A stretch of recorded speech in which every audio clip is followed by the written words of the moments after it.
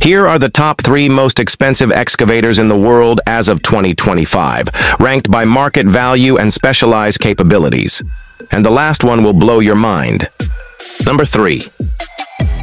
Hitachi EX8006 the Hitachi EX8000 Taud 6 is Hitachi's largest excavator, weighing roughly 811 tons with a bucket capacity of 40 cubic meters. It's primarily used in large mining sites, delivering both brute strength and refined hydraulic precision.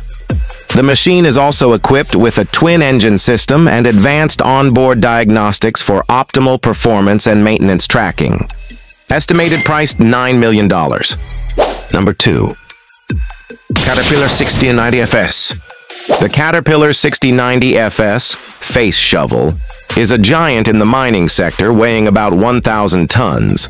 It comes with a colossal bucket capacity of around 52 cubic meters, making it ideal for loading ultra-class haul trucks. It's known for its advanced hydraulic system, durability under extreme conditions, and high productivity rates. Its cost reflects its massive size and heavy-duty engineering estimated priced $10 million. And before we proceed to our last topic, make sure you subscribe to my channel. And number one, Liebherr R9800. The Liebherr R9800 is one of the largest and most expensive hydraulic mining excavators in the world.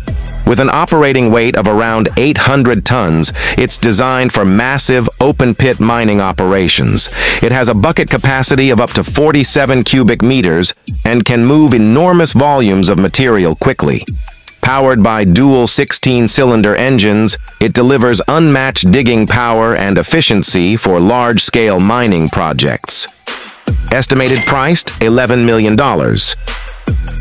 And how about you? Would you dare to purchase this kind of excavators?